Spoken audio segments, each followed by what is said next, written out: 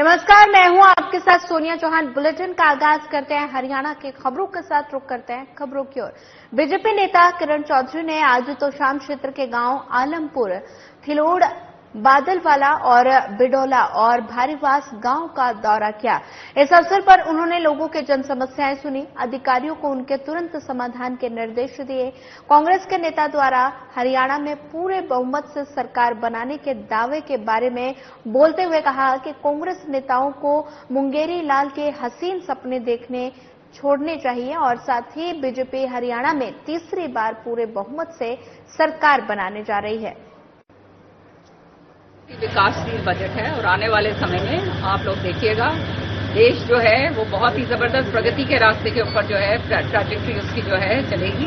विकसित भारत का जो है प्रधानमंत्री का जो सपना है दो हज़ार सत्ताईस कितना सैंतालीस तक का उसका जो है नींव रखी गई। और ये नींव जो है इतनी सुदृढ़ होकर जो है आने वाले समय के लिए चाहे ग्रामीण क्षेत्र हो चाहे नौजवानों बच्चों के लिए हो चाहे हमारे जो है ये कारखानों के लिए हो।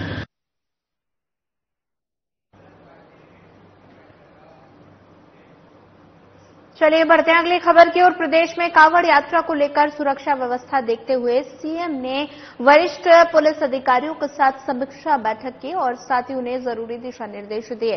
गौरतलब है कि 22 जुलाई से 2 अगस्त तक कावड़ यात्रा प्रस्तावित है और ऐसे में लाखों की संख्या में श्रद्धालु हरिद्वार से पैदल चलकर कावड़ लाएँगे और साथ ही इसी को देखते हुए कावड़ यात्रा में श्रद्धालुओं की सुरक्षा के लिए हरियाणा पुलिस की ओर से पुख्ता इंतज़ाम किए गए और इसी को लेकर हरियाणा पुलिस ने कांवड़ियों और साथ ही आमजन से अपील की है कि वे कानून और पुलिस प्रशासन के जारी किए गए निर्देश का पालन करें। जैसा कि हम सभी जानते हैं 2 अगस्त को शिवरात्रि का त्योहार है तथा कावड़ यात्रा 22 जुलाई से 2 अगस्त तक प्रस्तावित है। ऐसे में लाखों की संख्या में श्रद्धालु हरिद्वार से पैदल चलकर कावड़ लाएँगे, जिसका पवित्र जल भगवान शिव पर चढ़ाया जाएगा। कावड़ यात्रा एवं कावड़ियों की सुरक्षा एवं सुविधा को ध्यान में रखते हुए माननीय मुख्यमंत्री हरियाणा ने वरिष्ठ पुलिस अधिकारियों के साथ समीक्षा की और उन्हें आवश्यक दिशा निर्देश दिए। हरियाणा कैबिनेट में मंत्री कंवरपाल गुज्जर का बजट को लेकर बयान सामने आया। उन्होंने कहा कि बजट में शामिल की गई हर योजना में हरियाणा भी शामिल है। बजट अर्थव्यवस्था को मज़बूत करने वाला बजट है। ये बजट मील का पत्थर साबित होगा।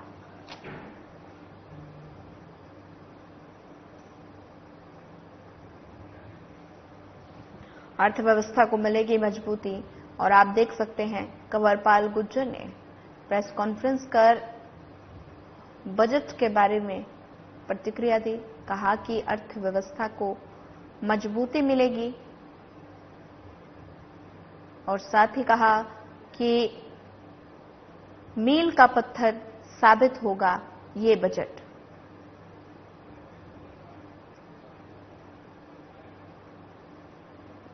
देखिए, बजट जो है वो पूरे देश का बजट है।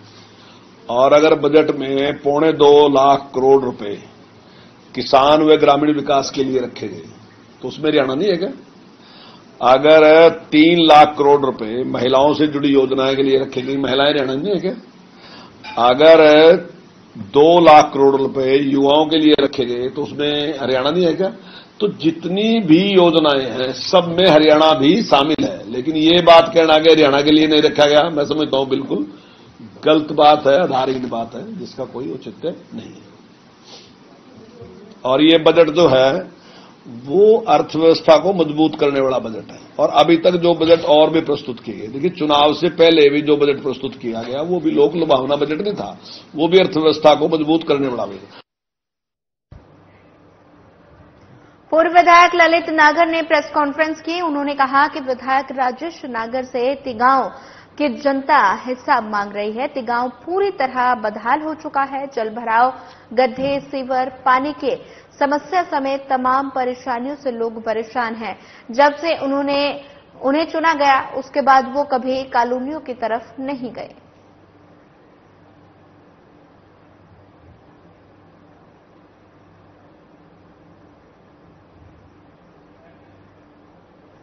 ये तस्वीरें तिगांव से हैं, जहाँ तिगांव मांगे हिसाब और विधायक राजेश नागर को घेरा। देख सकते हैं तस्वीरों में। पूरे गाँव की हालत बदहाल नज़र आ रही है। सड़कें बदहाल हैं और साथ ही तमाम ऐसी मांगे हैं जिनको लेकर गाँव में हिसाब मांगे कार्यक्रम का आयोजन किया गया। देख सकते हैं तस्वीरों में।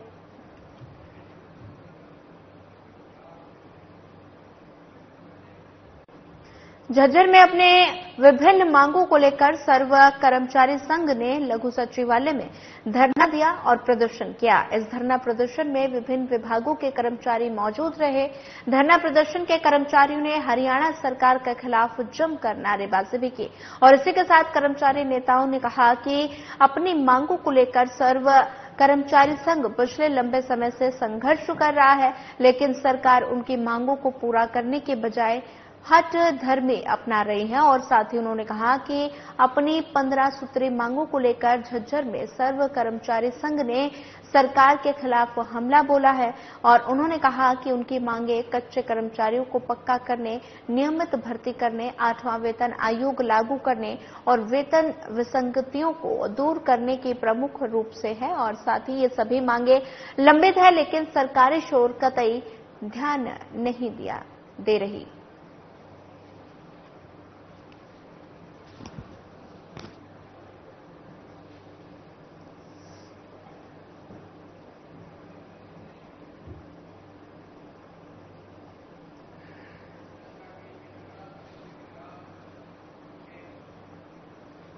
बढ़ते हैं अगली खबर की ओर। करनाल के अमोपुर गाँव में आज सिख समाज का जमावड़ा लगाकर आज प्रशासन के अधिकारियों के साथ मुलाकात की गई, जिसमें प्रशासन के अधिकारियों ने सिख समाज के सभी लोगों को प्रशासन के बड़े अधिकारियों के साथ बातचीत की गई और करनाल के अमोपुर गाँव में सिख समाज के परिवारों को चार मकानों को तोड़ दिया गया था, जिसको लेकर सिख समाज की कई बैठकें अब तक हो चुकी हैं। सिख समाज ने दोबारा उसी जगह को घर बनाने का फैसला किया था। आज सिख संगतों के सहयोग से कार्य भी शुरू होना था, लेकिन प्रशासन के अधिकारियों के साथ बातचीत के बाद सिख समाज ने 27 तारीख के बाद आगे की कार्रवाई का फैसला किया है। आज जो मकानों को लेकर के गाँव के डेरा पे जो बातचीत चल रही थी, दोनों तरफ़ से पंचायत इकट्ठी हुई है और दोनों पक्ष बहुत ही बढ़िया है। दोनों ने पॉजिटिवली बात करी और मैंने बाबा जी, जो स्वामी जी, गौशाला के जो संचालक हैं उधर से अपना दाचर गुरुद्वारा के जो बाबा जी हैं, बाबा गुरमीत सिंह जी, वो आदरणीय उन्होंने भी मेरी बात सुनी और बात सुन के उन्होंने आपस में अपनी अलग अलग बात करी। जैसा आपकी जानकारी में है, यहाँ कुछ पंचायत की ज़मीन है जो चरांद की। उसमें मकान बनाने से लेकर कोई संबंधित मामला था, जिसमें दो, दोनों पक्षों से आज हमारी बातचीत हो गई और दोनों पक्षों को बता दिया है कि जो कानूनी प्रावधान है और उस बात को लेकर दोनों पक्ष सहमत भी हैं कि जो भी समाधान निकले, वो कानून के दायरे में ही रहकर निकले और दोनों पक्षों की बातचीत भी करवाई है और सत्ताईस तारीख को दोबारा सहमति हुई है बातचीत के थ्रू इसका हल निकालेंगे और जल्दी इसका हल निकल जाएगा। आज अमूपुर गाँव में जो प्रशासन द्वारा चार मकान तोड़े गए हैं, उनको लेकर आज सारे इकट्ठे हुए थे। सुबह ही यहाँ पर प्रशासन की ओर से उच्च अधिकारी, एसडीएम, डीएसपी बीडीपीओ और दो तीन अधिकारी पहुँचे थे। उन्होंने फिर आके ये जो यहाँ पर एक मीटिंग की गई प्रशासन द्वारा, उसमें जो दूसरे पक्ष के लोग थे, उनकी तरफ़ से भी जो स्वामी जी हैं, वो बीच में थे। इधर से बाबा जी, गुरमीत सिंह जी, हजूर साहब वाले बीच में थे। नागरिक अस्पताल के नर्सिंग ऑफिसर की मांगे पूरी न होने के विरोध में बुधवार को प्रदेश सरकार के खिलाफ रोष प्रदर्शन किया और अस्पताल के प्रांगण के बाहर धरना दिया। धरना दे रहे नर्सिंग ऑफिसर कमलजीत सुमन, सोनप्रीत रुपेंद्र पुष्पेंद्र, रजनी ने बताया कि नर्सिंग वेलफेयर एसोसिएशन हरियाणा की तरफ़ से नर्सिंग कैडर से संबंधित मांगों में केंद्र के समान नर्सिंग अलाउंस सात हज़ार दो सौ रुपये केंद्र के समान नर्सिंग ऑफिसर को ग्रुप सी से ग्रुप बी में शामिल करने और विभाग में डिप्टी डायरेक्टर और असिस्टेंट डायरेक्टर नर्सिंग के पद को भरने के बारे में कई बार सरकार को अवगत कराया जा चुका है, लेकिन सरकार और विभाग की तरफ़ से उनकी मांगों के संबंध में कोई ठोस प्रयास नहीं किए गए। उन्होंने कहा कि इन्हीं मांगों को लेकर सुबह नौ बजे से 11 बजे तक दो घंटे की सांकेतिक हड़ताल रखकर रोष व्यक्त करने के निर्णय के तहत जब तक उनकी मांगे पूरी नहीं हो जाती, तब तक दो घंटे धरना देकर रोष व्यक्त किया जाएगा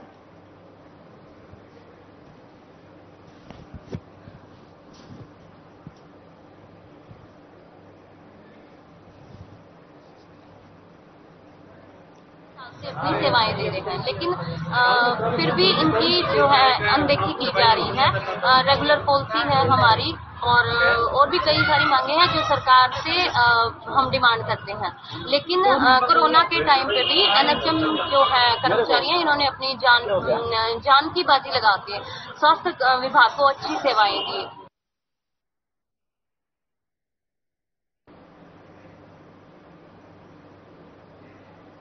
हरियाणा के यमुनानगर पहुँचे वरिष्ठ किसान नेता और संयुक्त संघर्ष पार्टी के संस्थापक गुरनाम सिंह चढ़ुनी का बयान सामने आया, जिसमें उन्होंने कहा कि उनकी पार्टी पूरे हरियाणा में सभी विधानसभा सीटों पर चुनाव लड़ेगी। इसके अलावा पंजाब में चार सीटों पर उपचुनाव होगा।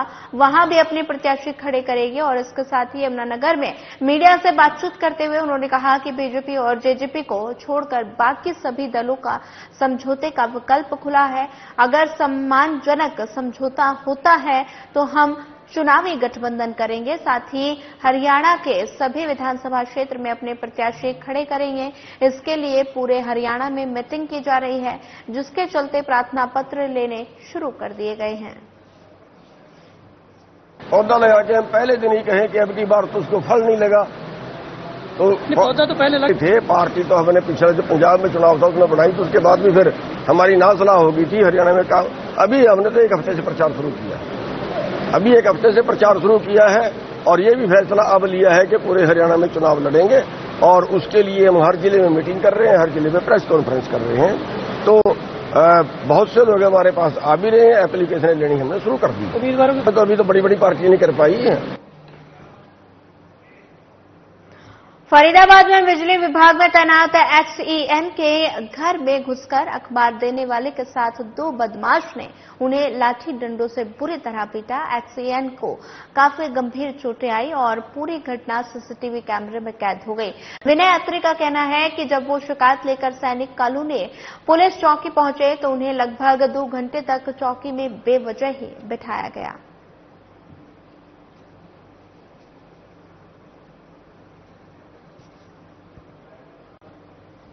आज सुबह सर मेरे साथ जो है अखबार वाला आया मेरे घर और उसने मेरे से बिल की डिमांड की कि आपका कुछ बिल पेंडिंग है। तो मैंने उससे कहा कि मेरे को पक्का जीएसटी वाला बिल दे, क्योंकि मुझे ऐसा लगा कि उसमें वो उलझुलूल मेरे से पैसे डिमांड कर रहा था। जैसे मैंने उसे जीएसटी का बिल दिया तो वो चुपचाप मेरे यहाँ से चला गया। उसके पाँच मिनट बाद ही मैं अपने बच्चों को तैयार करके स्कूल के लिए, बस वगैरह के लिए छोड़ने के लिए तैयार था। उसी वक्त वो अपने तीन चार साथियों के साथ आके, लाठी और डंडों के साथ मेरे परिवार पे उसने मुझे घर से निकालकर और अटैक शुरू कर दिया। सर, उसने मुझे ईंटें मारी, डंडे मारे, मेरे सर में बहुत चोट आई, मैं बता नहीं सकता कि मेरे को अभी भी चक्कर आ रहे हैं, सर, और मैं इसके ट्रीटमेंट के लिए वो करता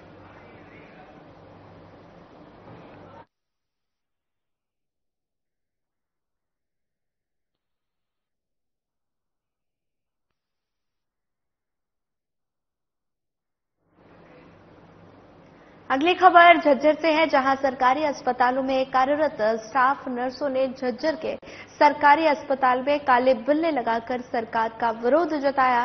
दरअसल सरकारी अस्पतालों में कार्यरत स्टाफ नर्सें पिछले लंबे समय से अपनी मांगों को लेकर सरकार के सामने प्रदर्शन करती आ रही हैं और बता दें कि स्टाफ नर्स केंद्र सरकार की तर्ज पर सात हज़ार दो सौ रुपये नर्सिंग अलाउंस देने, स्टाफ नर्सों का ग्रुप सी में, बी में लाने और डीएचएस में नर्सिंग डायरेक्टर के पोस्ट भरने की मांग कर रही है और मामले को लेकर नर्सों का कहना है कि अगर सरकार उनकी मांगे नहीं मानती तो उनकी अनिश्चितकालीन हड़ताल जारी रहेगी।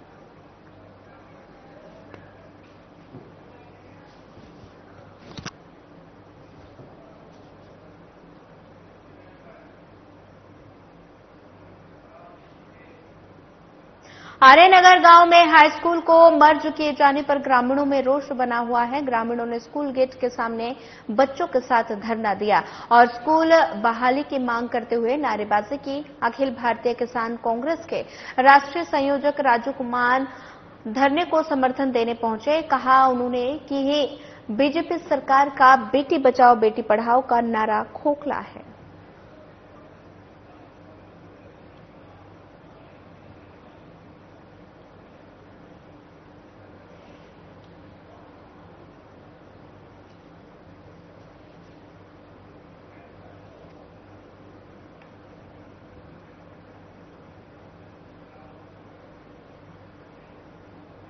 हरियाणा में प्राकृतिक आपदा के कारण खराब होने वाली फ़सलों के नुकसान के लिए किसानों को मुआवजा देने के लिए चलाई जा रही प्रधानमंत्री फ़सल बीमा योजना के अंतर्गत बीमा कंपनियों के चयन किया गया। मुख्यमंत्री नायब सिंह सैनी की अध्यक्षता में चंडीगढ़ में हुई उच्चाधिकारी प्राप्त क्रय समिति में खरीफ 2024 से रबी 2025-2026 की अवधि के लिए बीमा कंपनियों के चयन को मंजूरी प्रदान की गई।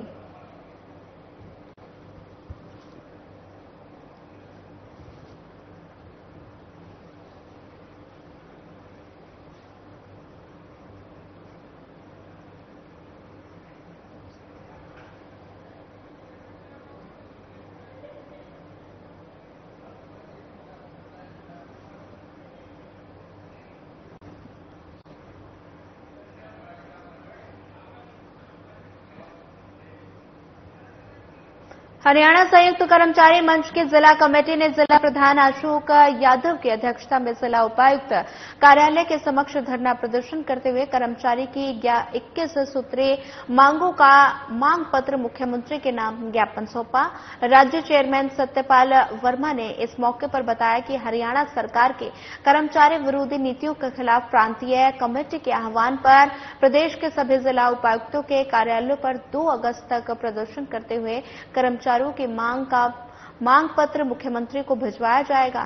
कर्मचारियों की सरकार से मांग है कि उनकी मांगों को सरकार बातचीत से हल करे, वरना 11 अगस्त को मुख्यमंत्री आवास करनाल का घेराव किया जाएगा।